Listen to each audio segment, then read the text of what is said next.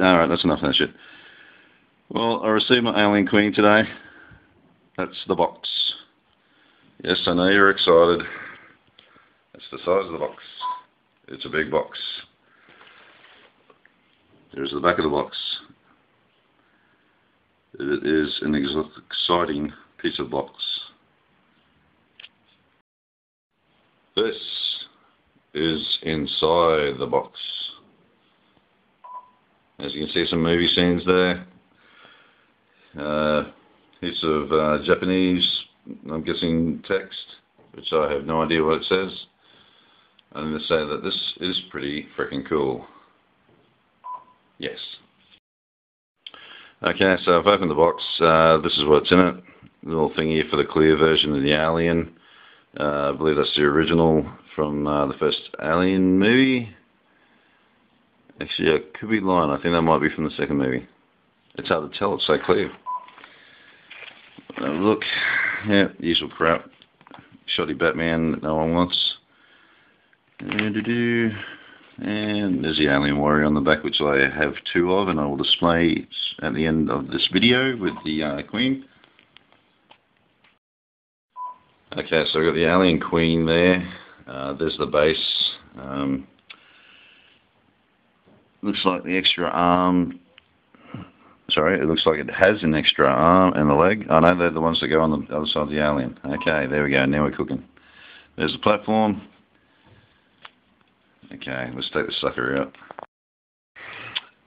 Okay, so there it is, the Alien Queen, fully assembled. It's the first time I've had to do that, but um, I haven't. This is the first larger scale uh, Revoltech I've had. Uh, all the others are uh, Transformers, um, Alien Warriors and that. Um, I like it. Um, not happy about that. It looks like it's a bit bent uh, from the packaging, uh, but I'm sure they'll straighten out eventually. Hey man, how you doing?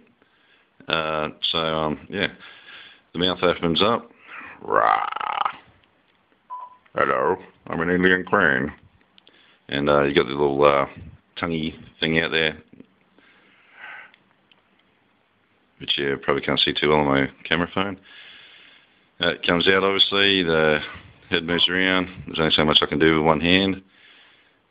Uh, it'll, it's all pretty good uh, articulation and everything. The arms will move around as you expect. Legs will move. Wearing his high heels, or her high heels I should say. What was I thinking? Nice uh, long tail that's uh, fully posable. Alright. Uh, I just wanted to show this. It seems like you can stand, pretty much stand her up um, without the the support. Uh, this is just a quick pose, but it is possible. The leg joints are a little um, a little on the loose side, so you're not going to be able to get too much um, movement out of it without it falling over. I think without the legs splitting apart. But uh, yeah. Okay, so there's the uh, Alien Queen with the two Alien Warriors. Uh,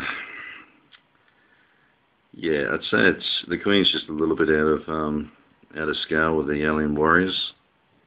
I mean, you probably lay them down, you wouldn't really notice too much. But I think I still think they all all pretty much go together.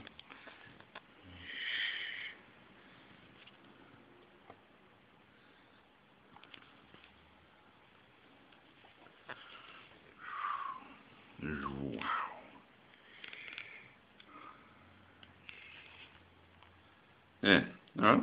Well, I'm pretty much happy with it. So they're going on display. And then she is on display.